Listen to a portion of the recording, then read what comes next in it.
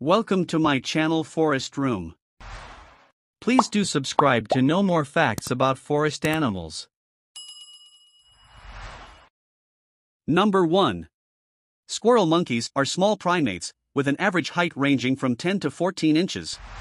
This measurement is taken from the top of their head to the base of their tail. Number 2. Adult squirrel monkeys usually weigh between 750 grams and 1.1 kilograms, 1.7 to 2.4 pounds. Females tend to be slightly smaller and lighter than males. Number 3. Squirrel monkeys have a unique social structure where they live in large groups called troops. These troops can consist of up to 500 members, making them one of the largest primate groups in the world. Number 4. Like humans, squirrel monkeys have unique fingerprints. This feature has actually been used by researchers to identify individual monkeys in studies and field research. Number 5.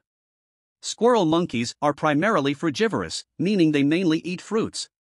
However, they also consume other foods like insects, small vertebrates, flowers, nectar, and even some leaves. Number 6. Squirrel monkeys have a long and flexible tail that acts as an extra limb. They use their tail for balance while leaping through the trees and also as a tool to grasp objects. Number 7. These monkeys have a complex vocal repertoire, consisting of various vocalizations to communicate with their troop members. Each vocalization has a specific meaning, including warning calls, alarm calls, and even sounds to maintain contact with each other.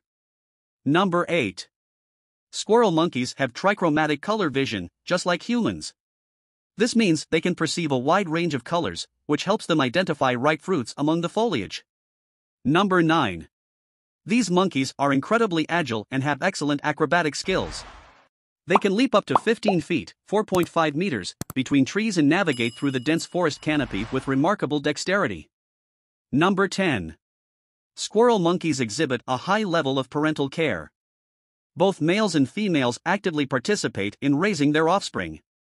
Male monkeys, in particular, often carry and groom the young, forming strong bonds with them.